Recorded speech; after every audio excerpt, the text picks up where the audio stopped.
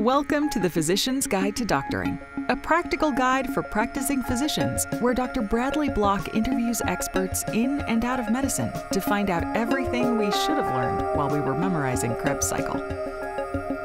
The ideas expressed on this podcast are those of the interviewer and interviewee and do not represent those of their respective employers. On today's episode, we interview Dr. John Ramey, a fellowship trained allergist in Charleston, South Carolina, and the creator of drmoves.com. That's Dr. Moves. And I know what you're thinking the doctor of dance moves. Okay, that's probably not what you were thinking, that's what I was thinking. But Dr. Moves helps doctors to move. He and his wife are real estate agents who own healthyrealty.com, and he walks us through why you may or may not want to buy a home as a resident, how to do it, and if you don't buy one then, how to buy one as a new attending. We discuss what doctor loans are and why you may want to utilize them, and then we walk through the entire process from finding a real estate agent to closing costs. And we really just scratch the surface, and he offers much more detail on his website, again, drmoves.com. He also has useful information on real estate investment and other revenue streams for physicians like being a medical reviewer, expert witness, medical surveys, telemedicine, and locums jobs. Welcome back to the Physician's Guide to Doctoring. On today's episode, we have Dr. John Ramey of drmoves.com. He has a fantastic website that gives all sorts of information to physicians about uh, finding a real estate agent, finding a home, um, earning extra income through either real estate or uh, medical surveys, becoming a medical reviewer. Really, he has lots of different information. Uh, is a wealth of information for for physicians but today we're going to focus on buying a home. So if you're a physician who, or you, you recently became a physician because you recently matched, um, or you're finishing residency, you're about to become an attending, you know where you're going to be living for a while, and you're thinking of buying a home. As a physician, you might have some other obstacles like your loans that other people don't and there might be some more resources available to you that aren't available to other people like a physician specific loan. And so dr ramey has some particular expertise in in this area for a whole host of reasons. So first of all dr ramey thank you so much for being on the podcast today. Well thanks for having me. I'm really excited to be on with you tonight so I think your real estate experience um, first started with your experience as starting. I think it was you were starting your residency and you were looking your first home. So can you walk us through what happened there? Yeah, it was actually um, getting ready to start medical school. So um, my actually my fiance at the time um, we were um, wanting to buy a house and like most medical students we didn't have any money. We had just graduated from college, and so we um, went to look for houses um, with my in-laws. So first suggestion I have is don't go look for houses with your in-laws. It wasn't a very good experience. So um, we um, we were actually staying at a resort, and the um, closest real estate office was a resort um, real estate office. The second mistake we made was um, finding a realtor who was used to selling million dollar properties, which we were not looking for at the time. So um, she took us out for the day, and we were looking in the hundred thousand dollar range at that time. Um, we actually found a house that we really liked, and this was just after one day of looking. And so the realtor takes us back to our office, and she goes into a spill saying, "Hey, listen, uh, this is a, sell- a seller's market. If you don't put an offer on this house today, you're probably going to lose it. You need to do something quick." And um, I was very nervous, you know, being my first house and buying a house. I, you know, I wanted to call my parents and get some advice from them. And my parents are kind of cautious. And they said, Hey, John, don't you really want to think about this overnight? I don't think you should rush into this. And so, you know, I agree. I agreed with them. I wasn't in a big hurry to do this. So I walked back into the room with the real estate agent and my in-laws, and I told them, I said, "Listen, I, I want to think about this tonight. I want to, you know, make sure this is a good decision." Well, the realtor um, got really upset with me and said, "You are going to lose this house tonight. This is a terrible decision." And she stomped out of the room. Um, the next person got upset with me with my mother-in-law. She stomped out of the room, and um, my fiance at the time was crying. You know, it was just a, a bad real estate experience. And from that experience, and my, my wife and I talked about it several years later, and we were just like, man, we could have done such a better job ourselves, and it you know inspired us to go get our both of us to get our real estate license. So you got a real estate license while you were a medical student? No, no, it, it was actually um, after I finished up all my training. I got mine. Um, my wife got hers um, during my fellowship, and um, so she got it before me, and so um, she was able to, actually to help us buy our. This was our, I think, third house by that time um, when we moved to our um, my final job as an attending. Your third house. Yes. So the first house ended up happening during at the beginning of medical school. Well, what ended up happening, that house that we were going to buy, we didn't buy, and um, we decided to rent instead. So we ended up renting a townhouse for the first two years. Then we went to the owner and said, "Hey, we'd really like to buy this," and um, bought it um, at during the start, I guess, the end of my second year of med school, and sold it two years later for a profit. And then um, went on to residency, bought a house there. Um, ended up breaking even on that one, and then during um, fellowship, bought another house and ended up making a good profit on that house. And that was during the time my wife got her real estate license. So it was actually our fourth house that um, we ended up um, using her as the realtor.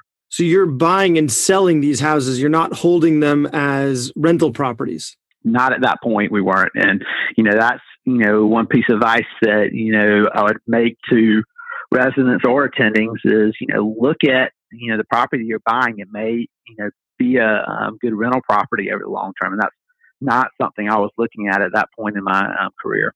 Yeah, I actually, when I was a resident, I bought a, um, I bought an apartment, and my parents helped me to finance it uh, because the first apartment that I lived in in Washington wasn't in the best area.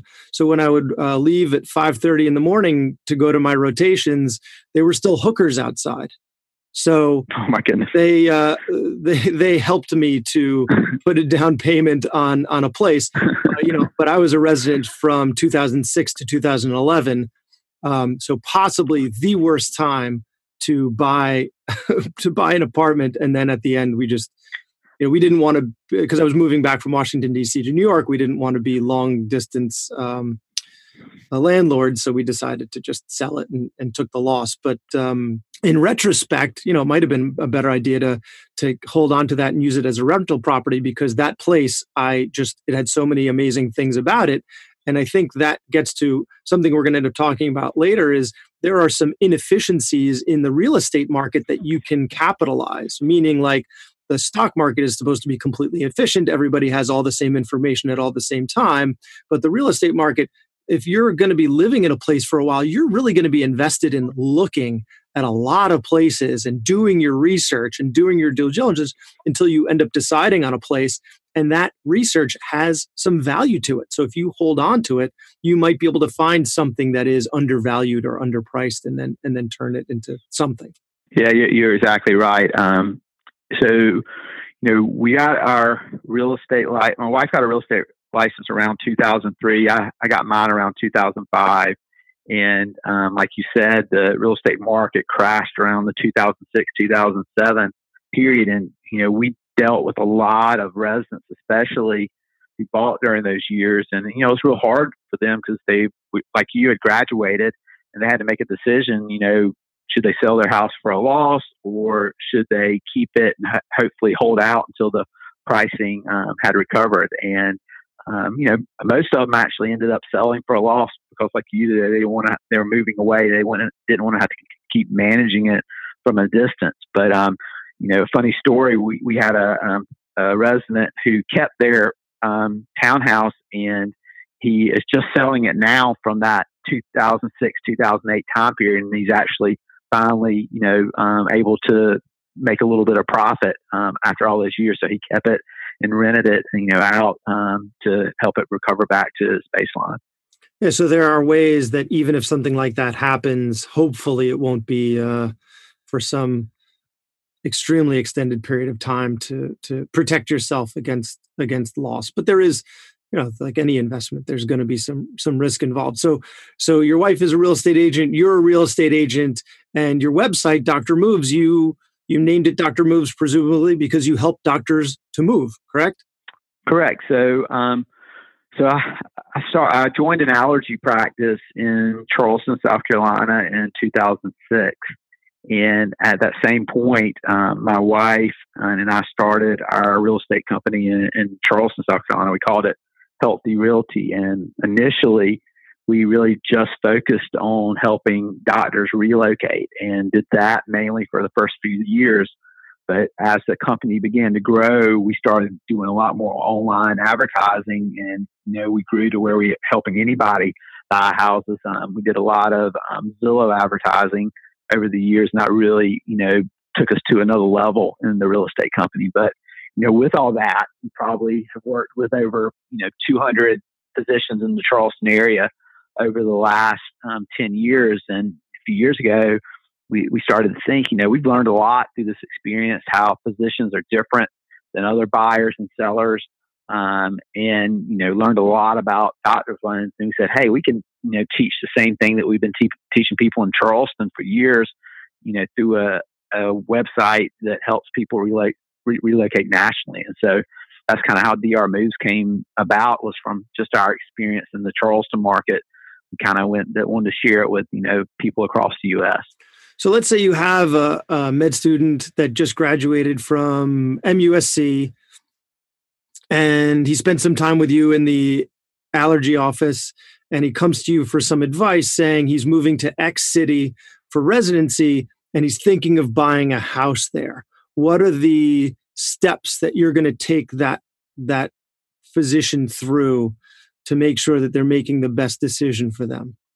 Yeah, so that's something I, you know, have a lot of passion about. I've been doing that for about 10 years. I've actually um, been lecturing the students at the Medical University of South Carolina on that, you know, decision process. And, you know, the first thing I encourage them to do is sit down and make a budget. I mean, that's the best thing you can do before you start thinking about whether to buy or rent is sit down and make a budget. You know, figure out you know, what is your salary going to be after taxes? How much money is going to be left over?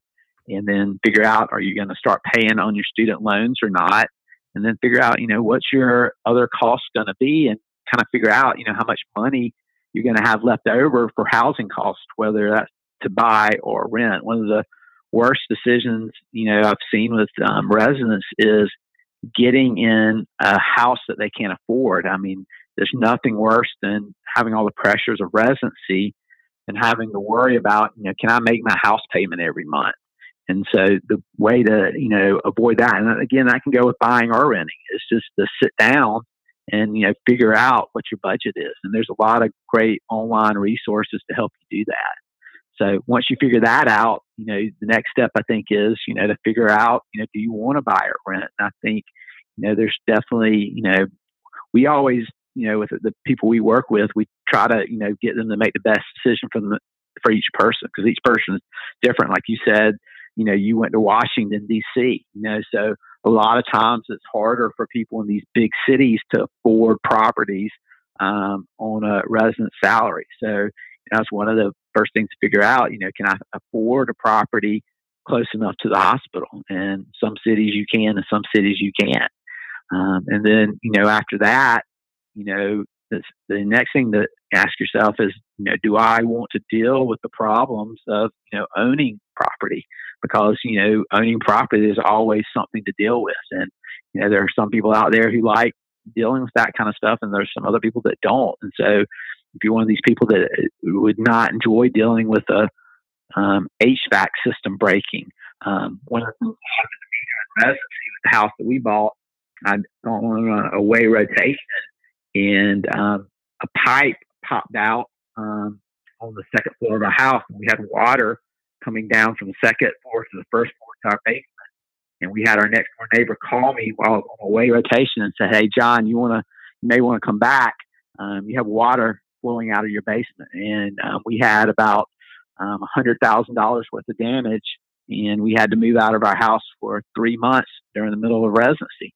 Oh, Fortunate wow. thing was that we had homeowners insurance and it, you know it covered everything except the thousand dollar deductible but still you know it was it was a big headache and having to deal with that you know, it's not fun during residency i actually had something similar happen to me Uh, I had a leak. I had a leak. I was at the fifth floor of an apartment building, and there was a leak. But I was there. There was a leak coming out of the sink from under the sink, oh, wow. right where the valve is. So I tightened the valve, and then it got worse. And I thought maybe I'm just an idiot, and I turned the valve the wrong way. So I turned it the other way, and it got worse. So every time it got worse and it got worse because the leak was between the wall and the valve. So Oh wow! So ultimately, the place is flooded. Someone ended up calling the fire department, and they came in and they just crimped the pipe.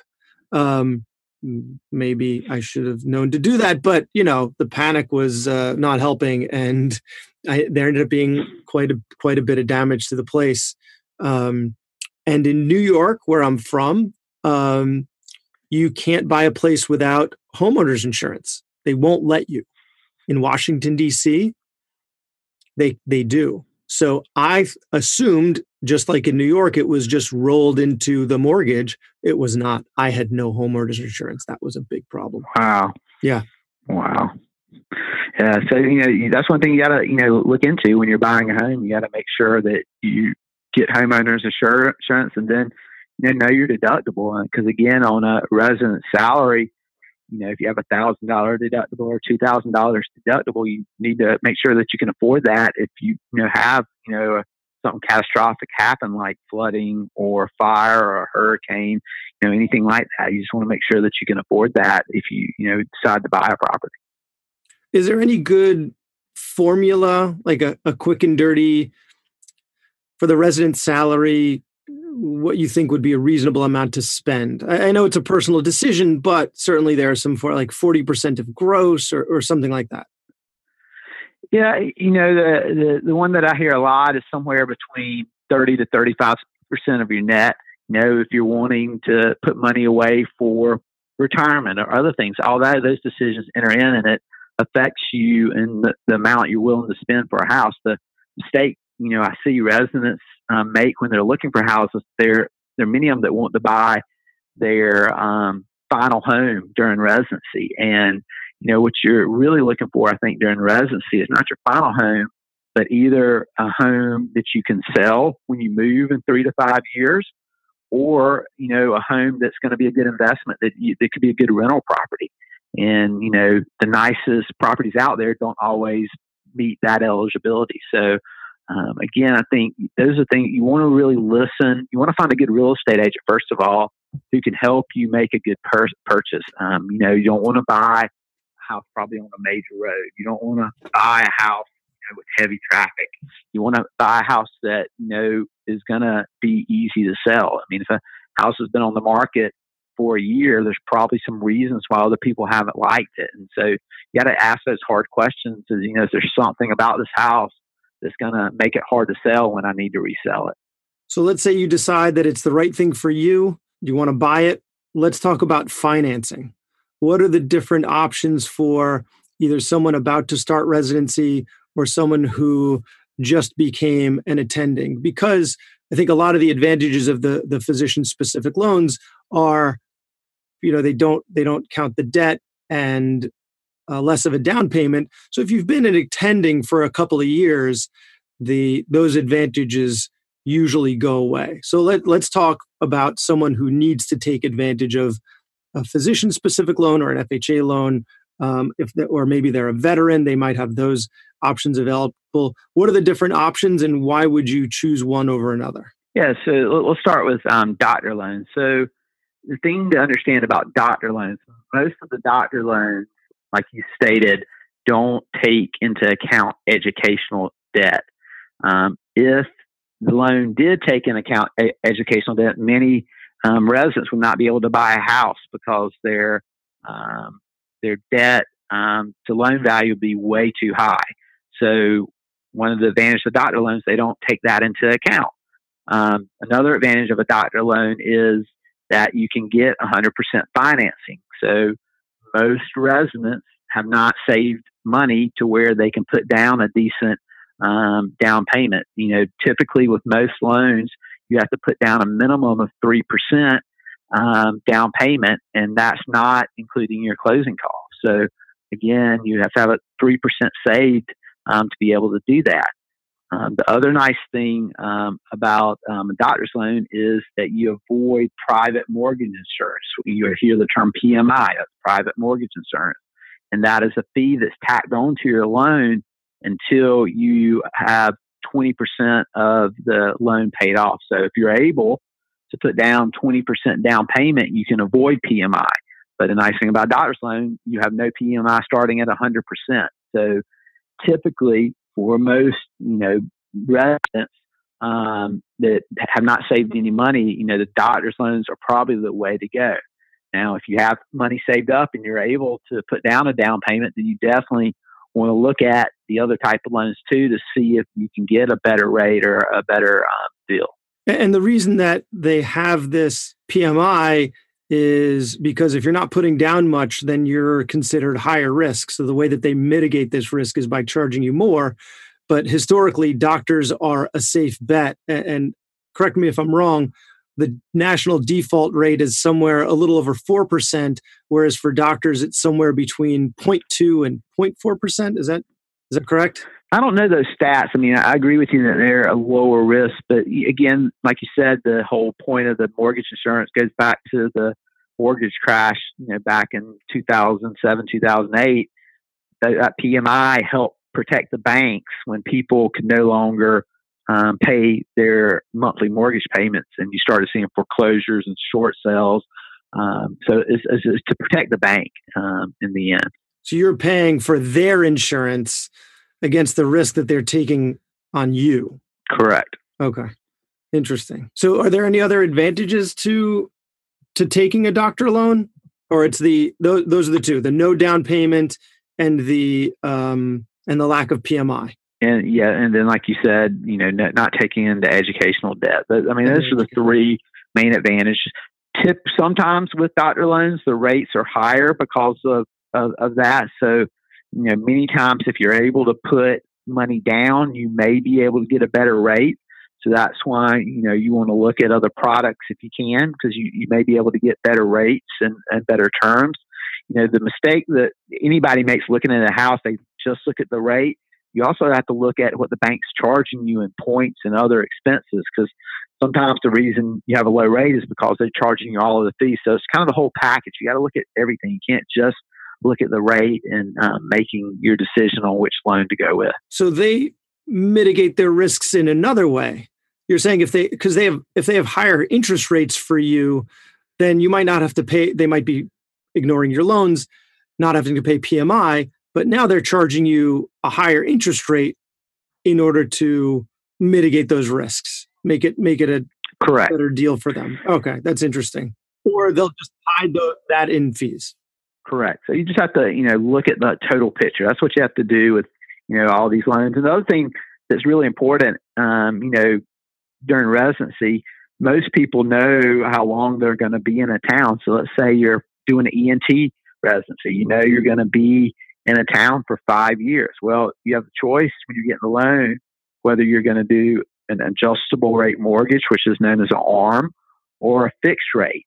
And um, you know, I, I'm personally a big fan of the adjustable rate mortgages. You know, most likely you're only going to be in a city for a certain amount of time. So, for example, ENT, you know, you're going to be there five years.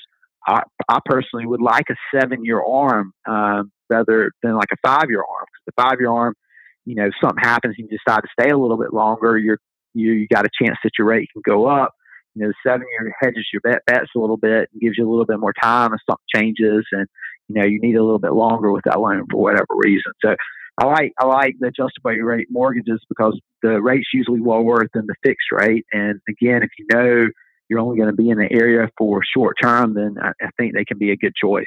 Could you just describe what what an adjustable rate mortgage is? So, if a fixed rate mortgage, you have the same interest rate for the life of the loan, and that's it, right? And so when you take out correct most the many many mortgage my mortgage on my house is we have a 30 year mortgage, it's fixed rate mortgage. But for the adjustable rate mortgage, how does that work? Yeah, so so I'll start again with the fixed rate. So the fixed rate mortgage, the the most the type of loans that most people get is usually the 30 year fixed or 15 year fixed. So the rate of the loan is fixed over 15 years or 30 years. Um, typically, um, you know, with the the with the fixed rate, the rates are a little bit higher than the adjustable rate mortgages. Um, with the adjustable rate mortgages, you have products that are three year adjustable rates, five years, seven years. And typically, the shorter the term, the lower the rate. So you're going to get a better rate. So let's take a five year adjustable rate mortgage. So you're going to get the same rate for the first five years. And then after that five years, your rate is going to adjust. So if interest rates have stayed the same from when you got the loan, it's probably not going to change much. If they've gone down, they um, they may go down. The big risk is when they go up. So if you get into a period when rates go up dramatically from the beginning of when you get your loan, you could really see a big change. They typically have caps um, with each loan, so you want to understand what the cap is, how much. But again, that's where you really can get hurt if you, you know need still need that mortgage. You can always, you know, with an adjustable rate mortgage or a fixed rate, you can um, you can refinance it um, if needed. But again, you know, the cost with that, you know, may outweigh the benefit. So again, it's a numbers game to figure all that out. But that sounds like it makes sense for someone who's going to have, like you said, an ENT residency is five years long. You can lock in a, a lower rate than a fixed rate for those five years on the adjustable rate mortgage. And then when you're done, even if the rate goes up, either you offload, you sell the property, or at that point, you're making an attending salary. So even if the rate goes up, it, it, it won't be as devastating as if you were still making a resident salary. Yeah, and I think you know, I think what you want to ask yourself, you know, you want to a- ask yourself some hard questions when you're deciding on the product. You know, one is, do you do you think you want to get rid of this house when you leave? So if you say, if you know, hey, I'm definitely not going to want to keep this house, and either if I stay in this town, I want to get a bigger, better house, then adjustable rate probably makes sense. The other question ask yourself, like we talked about earlier, you know, do I want to start building my portfolio of passive properties, and do I want to make this into a rental property?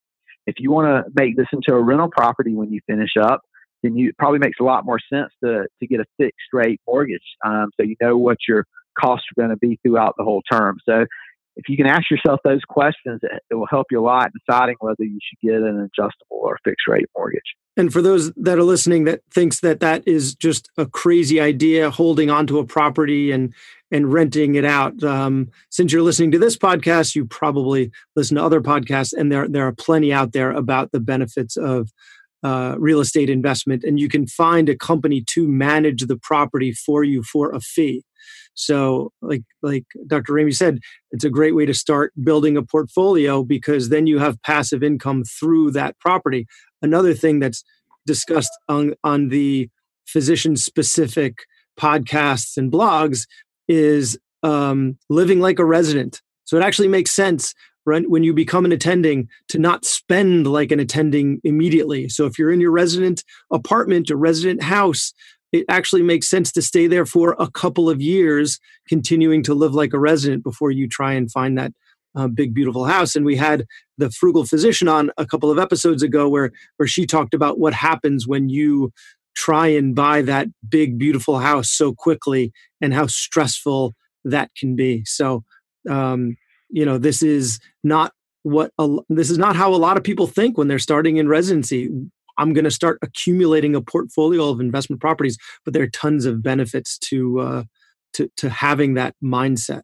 Yeah um, you know unfortunately you know i we see i see that a lot. There's a lot of you know a delayed gratification in our field that you know we tell ourselves we've worked so hard for all these years you know we deserve you know this nice car we deserve this nice house. And I think from a you know an investment standpoint, that's a surefire way to not get rich or to build your wealth is to you know thinking you know I think a better way to to think if you want to build your wealth, if you want to take you know the fire principle, which is you know financial independence, retire early. You know, think more like you're saying. You know, is this a good investment? And you know, would it make more sense for me to when I buy my second house to get one that's a lesser cost so I can keep this rental property and start seeing some passive um, income accumulate. So let's say you've you've found the apartment or you found the property you want to um, this is where you want to live for residency but you have so little money in the bank. Just because you're not making a down payment doesn't mean there's no upfront costs. So, so talk to me about what those upfront costs are, even when you're talking about zero down payment. Yeah, so a lot of people, when you buy your first house, you don't realize that you know there are closing costs associated with buying a house, and you know typically those closing costs can run around three percent of the house's value. You know, one thing you can do with these closing costs, if you have a good realtor, you can ask the sellers to pay um, the closing costs. So if you don't have cash where you can afford to pay that, you can ask the sellers to pay your closing costs. Typically, let's say that your closing costs are going to be five thousand dollars. You ask the seller to pay the five thousand dollars, and in exchange for that, the seller may want to increase the price of the house for five thousand dollars. So that's okay. It's kind of you're paying just you know you're getting them to help you pay for that. And, you know, a lot of residents are in that um, scenario. They just don't have money to you know pay closing costs for down payment. So um, that's one thing to think about. That you know if you're saying, hey, I really want to buy, but I don't have any money, you know, saved up. That's one way you know to be able to do that. That that seems a little shady. that you're that you're you don't have the money for closing costs and you're still there because it's getting wrapped up into your mortgage so you're still they're still the the seller is still getting their $5000 you're just paying them basically they're loaning you that $5000 because you're um, you're wrapping it up into the cost of the mortgage and then they're paying those upfront costs. I guess i guess that works. I guess it's not so shady now that i think about it. Well i mean you know there's you know there's two ways to look at it. You know one way you know a lot of financial advisors will say you know that's a good way to do it. You know roll that $5000 into your loan you're paying four to five percent on it. You know, that's not you know high interest rate if you look at historically. And you know, a lot of them would say that you know you can invest your money and do with that. Other people, financial advisors, would say if you don't have that four to five thousand dollars, you probably shouldn't be buying a house. So you know, there's two sides of the coin, and people look at it differently. So it really, you know, depends on you know the way you invest and you know um, making that decision and, and let's say you bought your house during residency and now you've become an attending you because you've made so little you've been living hopefully not paycheck to paycheck but close to it so you don't have much in savings. Now you've got this bump in salary and you want to buy a second property uh, now that you've become an attending and you still have the loans. Could you use a second physician loan? Is that possible it is. Um, and if you go to our site, drmoves.com, we've written some articles on that topic. That there are certain banks that will let you use doctor loans to buy investment properties and second homes. Not all the banks do that, so there are only certain ones that will allow you to do that. But it is possible, and we have a list of you know banks that will allow you to do that. Okay, so you're in Charleston. So let's say I'm buying, I'm I'm starting my um, residency in Tallahassee. How do I find um, a real estate agent? So one of the things we've tried to do with DR Moves is make it easy on doctors to find a real estate agent. You know, going back to my initial story, um, we made the mistake of not asking other people for references of the realtor.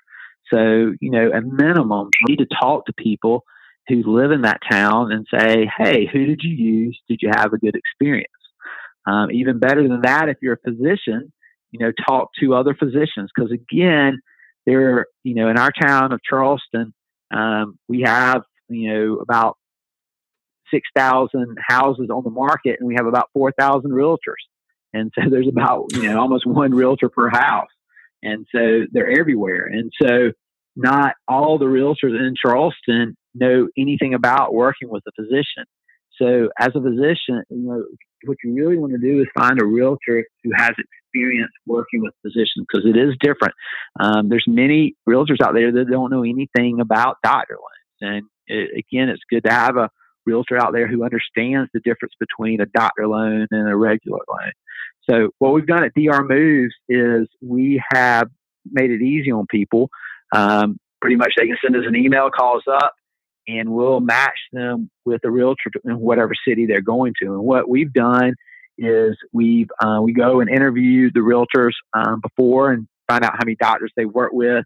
We look at um, some of their reviews, and again, we try to find realtors who have a lot of real estate, kind of like I did with a doctor. You know, you want to, if you're going to have a knee replacement, you don't want somebody that's just done five knee replacements. You want somebody that's done a lot of knee replacements. Same thing with real estate. You don't want a realtor who has just started in the profession. You want somebody who has done a lot of transactions because real the thing about real estate is that you know for many transactions you know you may not need a realtor but when you get into a bad situation you don't know what to do the, the realtor's worth their weight in gold to say hey this is what we need to do to get you out of this bad situation having a realtor with experience is worth its weight in gold um, you know i'll share a story with you um, we were working with a resident who had a contract to buy a newly built house um, it was about five days away from closing on the house. The house get, got hit by lightning and caused significant damage to the electrical system. So again, you're buying your first house. What do you do? Um, if you working with your aunt who's a realtor that maybe sells one house a year, they're probably not going to be too much of help to you. But if you're working with a realtor who does, you know, over 100 transactions a year, they probably run into something similar, or at least they know people who can give you good advice on how to deal with that situation. And then uh, I see you also have a resource on the website for finding doctor loans to, uh, based on your region. Yeah, so you can go and search um, by state um, who what um, companies do doctor loans and you know compare rates. So most states have you know multiple banks doing that, and then you know we have um, they're also, you know, I think, you know, this program is mainly focused on doctors, but we have found um, banks that will do them for pharmacists and physical therapists and other, um, you know, um, dot, um, medical professions out there. So, you know, in general, the doctor loans are for physicians, but there are some out there, you know, for um, other medical professionals too. And I see you have a, a couple of other sources on your website that I think bear mentioning if you want to discuss those briefly, filling out medical surveys, become a, becoming a medical reviewer, unrelated to real estate, but certainly very helpful.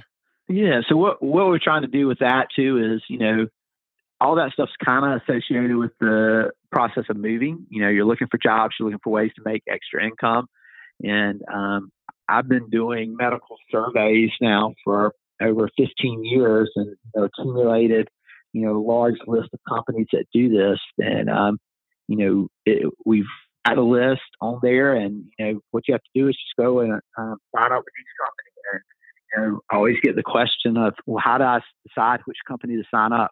You know, what I did when I was in residency, I signed up with most of them. And what I found is that, you know, certain companies work with certain specialties more than others. So it's good to be signed up with multiple ones. And, you know, you can earn significant you know, spending cash doing these surveys. Um, you know, over the years, I've earned probably ten to fifteen thousand dollars a year doing these surveys. So, you know, it depending on your specialty, there's definitely a need for um, people doing surveys. We also have information on about doing medical reviews, um, telemedicine, um, and you know other ways to earn extra income. Um, expert with witnessing is something else that we have on there. Is there anything else that you that you wanted to mention that we didn't discuss yet today? No, I, I think the you know main thing that you know I want to go back to is you know preparing. You know when you decide that you want to buy a house. Again, it's a very emotional decision, and many doctors get out there and they buy houses uh, that they can't afford or are too expensive at their time and training. And when the banks qualify you for a loan, they're not always looking at your budget to see what you can afford to pay for. They're they're always giving you the maximum they think you can afford. And so again, that doesn't mean that it's going to be comfortable for you if you go with the maximum they're recommending. So, you know, to to make a good decision, you always want to sit down and, and think about a budget. Yeah, they recognize that your likelihood of defaulting is extremely low. Uh, but as you're avoiding default, it doesn't necessarily mean that you're not miserable because you're stressing over the not only the mortgage payments but all the upkeep that goes along with having a, a more expensive home.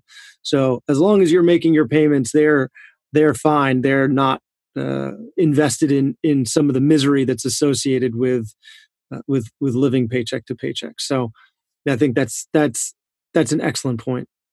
Yeah, and, and again, if you're married, you know, you, you want to think, you know, long term too. You know, do you and your spouse both want to work? You know, because if you get pre-qualified on both your salaries, and you know one of the people decide to stay home, it may be very hard to maintain that um, payment. So again, you, you want to think, you know, hey, am I going to start having kids in three to five years? And what am I going to do with that? So again, those people come to work, then that's great. But again, if you have the plan that one person wants to stay at home, you want to try to make your initial decision on that, not on both people's salaries. Well, Dr. Ramey, where where can people find you? Yeah, so you can go to um, send me an email at info at drmoves.com. Happy to answer any questions. Again, I, we just want to be a resource. I've been very blessed in my career, and you know, I, I feel like um, one of the things we didn't talk about that um, been very fortunate at making good real estate decisions and have you know investment properties that are residential, commercial, and even vacation rentals. And um, you know, it's, it's been nice to get to a point to be able to pay off a lot of those properties and already seeing them, you know, be cash flow positive. And so it's nice to get to a point in your career where mm-hmm. you work because you want to, not because you have to. And you know, that's where you know I feel like I am at this point. And you know, I'm only 45, and so you know I see that as a blessing. So again, the reason I was able to get there was the decisions I made when I was 32 and 33 and 34. Making good decisions then will pay off in your 40s and 50s. So you just got to think about you know just making great decisions. You know when you're going into being an attending. Well, I really appreciate appreciate you taking the time to to talk on the podcast, and it has been very informative, and it's been a pleasure. Thanks. It was a great talking to you tonight. That was Dr. Bradley Block at the Physician's Guide to Doctoring. Find all previous episodes on iTunes, Stitcher, Google Podcasts, or wherever you get your podcasts, and write us a review. You can also visit us on Facebook at facebook.com slash physician's guide to doctoring. If you are interested in being a guest or have a question for a prior guest, send a message or post a comment.